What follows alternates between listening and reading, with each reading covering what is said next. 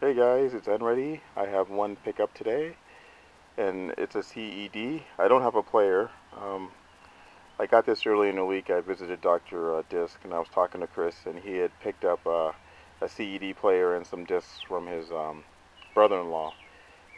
Um, he gave it to him because he felt, uh, since he was into collecting vinyl music, that he would like, you know, vinyl on vinyl movies, which is what CED is. It's an analog system unlike Laserdisc that plays off a laser. And he gave this to me because I was a big fan of Star Wars. Um, I'll probably not ever get a player, but this is just more like a decorative thing for me because I've always loved this artwork. Um, okay, uh, so let's get into it here. Um, this uh, CED um, format was um, created by uh, RCA back in the late 60s, and they had always planned to like sell movies on this format, but they had a major problem in that uh, the disc could only hold 30 minutes on each side.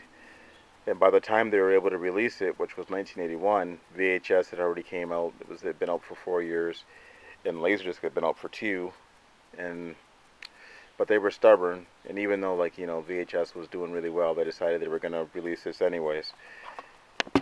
And uh, so I think their projection was to sell like um, 200,000 units. I think they only did half of that because their big selling point was that it the, v, the the CD the CED players were cheaper to produce than VHS players.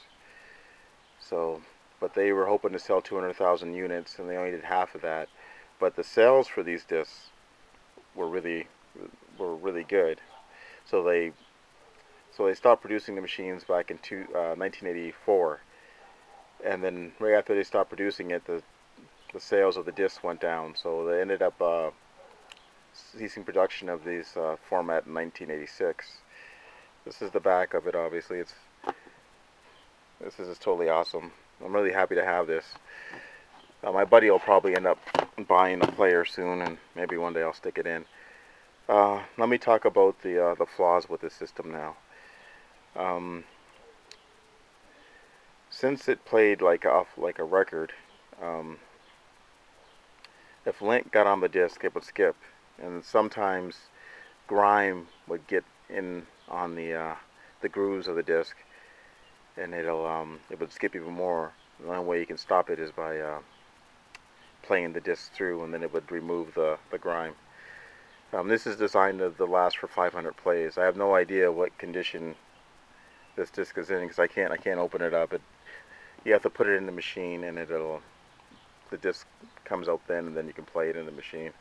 I'm gonna put a link to the RCA um, promo video so you can see what how it's supposed to look and how it's supposed to work. Alright guys uh, thanks for watching and until next time I'll talk to you later